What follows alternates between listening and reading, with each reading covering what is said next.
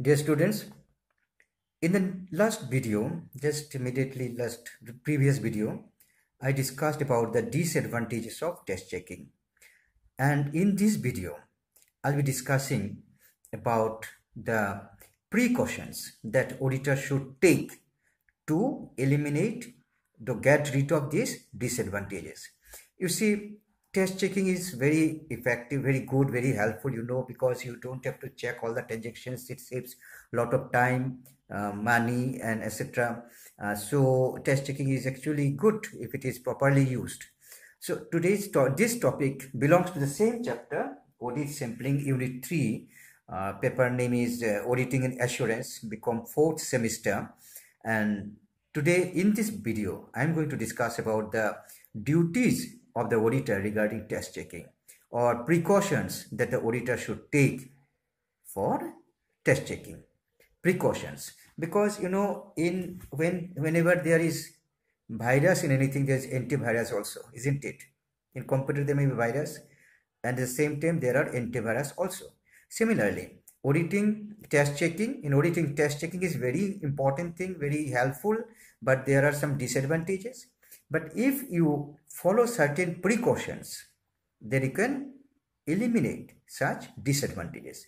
So please write the topic auditor's duty regarding test checking, auditor's duty regarding test checking, or you can write what precautions auditor should take, what precautions auditor should take uh, regarding test checking. Okay.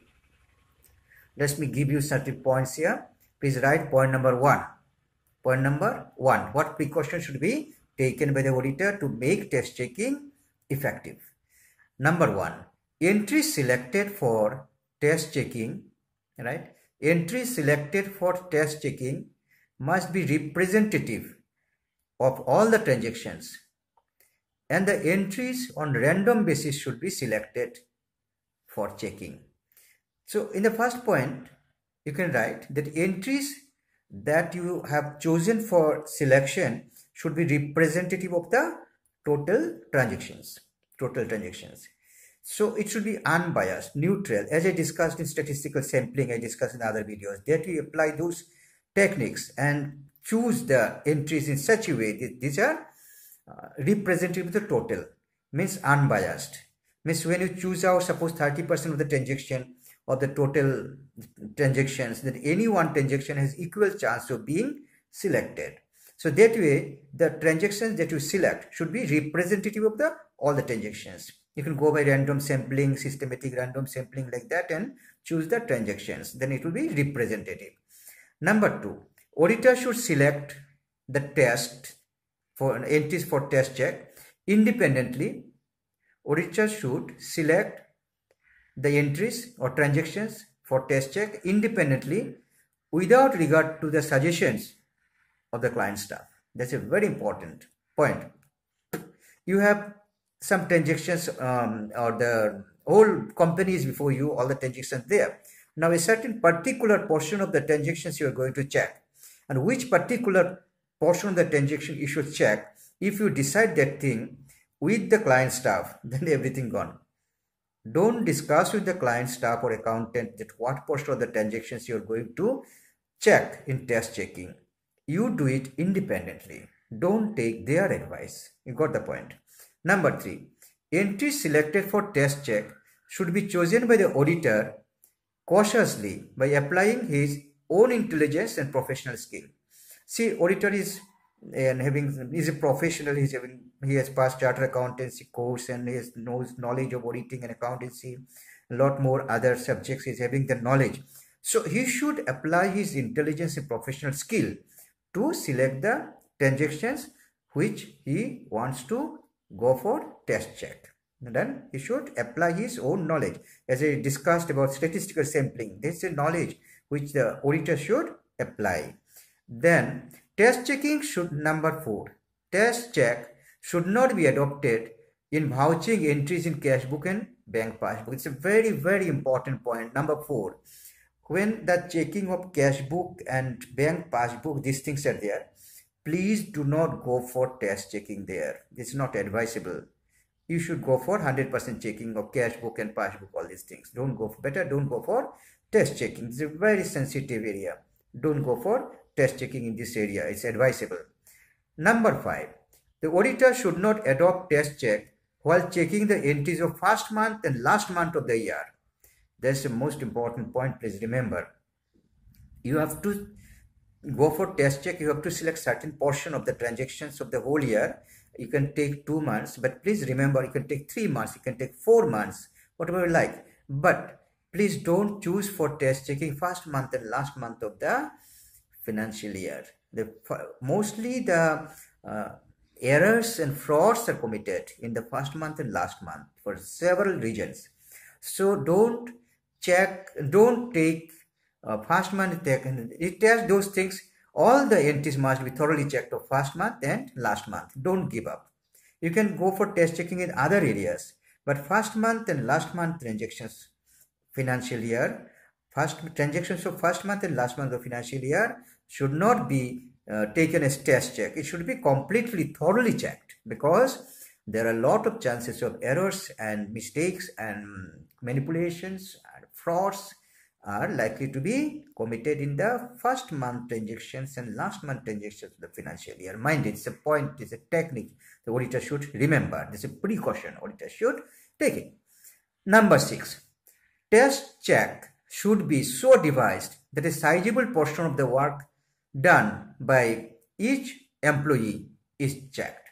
That's a very important point. See, in an organization, in a company, or in the client's organization, several people are working in the organization.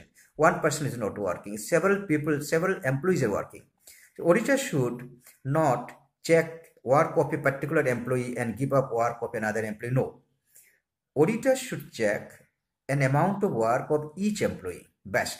He should check the work of every employee. Maybe test checking, but he should check the entries of every employee more or less according to his formula of sample.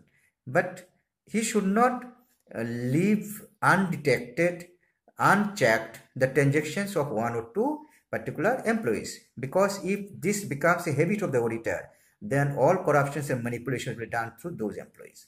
Auditor should add uh, he should check the entries or transactions of work of all the employees. Okay, all the employees, a sizable portion of the work done by each employee should be checked. This is a precaution, number six. And number seven, auditor should consider his past experience in selecting the nature and size of the sample for checking. See, how much, what portion of the transaction should be checked for test checking? 20% or 30% or 40% or what? Or which area of the transaction, which month's transaction should be checked as per test checking? That will depend upon the past experience of the auditor, past experience of the auditor about the organization. Because he might have audited in past also. So in the past, what is his experience? He will take that experience into account and then only he will, he will uh, select the size of the transactions to be checked as per test checking.